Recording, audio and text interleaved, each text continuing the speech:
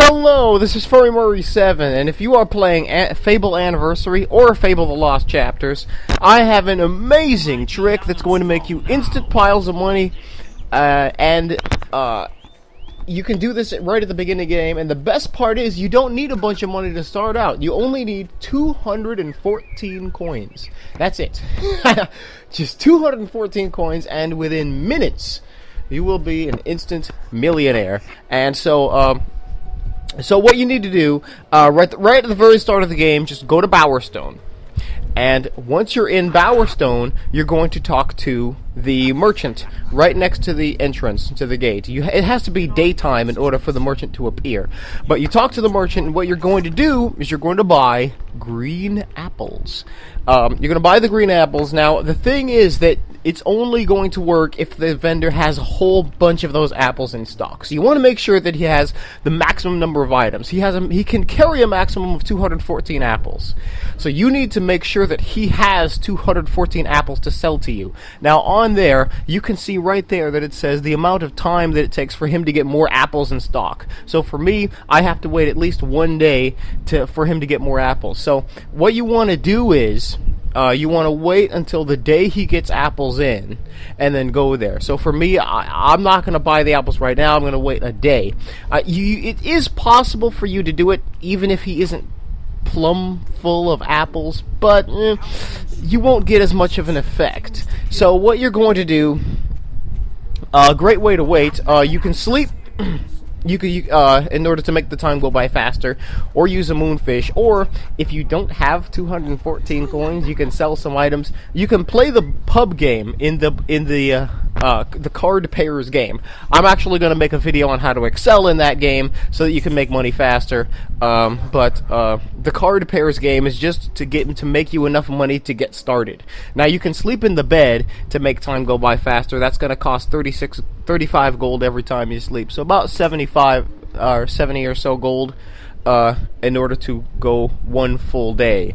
So um, just sell a random item that you don't need, or just play the pub game. Click on my video on how to play that.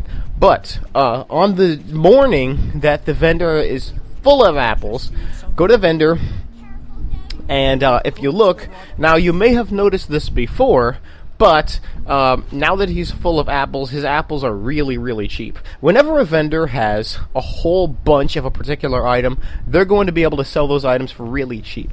But, the thing is that every time they sell some of those items, they get more and more expensive, down to where the, the vendor only has one left, and then you know then it's super expensive. So what you're going to have to do is you're going to have to buy all of these apples at the exact same time. So you're going to click Buy Maximum. So what you did was you paid uh, one gold uh, uh, for those apples. Now, when you go to the sell tab, you can see that you can you're actually paying that you're actually getting back two gold, so you're making a profit of one gold per apple. So when you buy them all and then sell them all, you actually get more money. And so if you look down, uh, I now have 4,000 coins, and before I only had 3,786 coins. So that's pretty cool. And so, um, now I actually have a, I'm actually going to make a video uh, describing in detail the entire mercantile system in Albion. So uh, you don't have to worry about that. But just qu- very quickly, the number in parentheses is the amount that they're worth. The number outside of the parentheses is how much you're paying, or if you're in the sell tab, that's the that's the amount you're getting if you sell them. And the the amount under that it says profit or loss. That's how much money the game will do the math for you and calculate how much money you'll make or lose. Uh, if you sell them. Now you now this the great thing is this doesn't have to work with just apples. You can do it with basically anything. Here you can see I'm doing it with blueberry pies or apple pies. You can you can theoretically do this trick with any item that any merchant sells. However, it's only going to work is if uh, it's only going to work if the, the vendor has enough of that item in stock, like a whole bunch of that item in stock all at the same time. And even then, um, yeah, sometimes I, um, uh, uh, it, it, it, it will it will help if you get a point in guile in the guile stat. Just go to go to the uh, Heroes Guild and go to skill and scroll down until you see guile. Guile will help you make more money in merchants, but you don't need guile. I'm doing with this character I'm using. I'm uh, I'm not using any guile at all. But you can do this with anything, especially when you get to Oakvale and they sell jewels, and you can sell those for five thousand a piece. You can make hundreds of thousands in just seconds.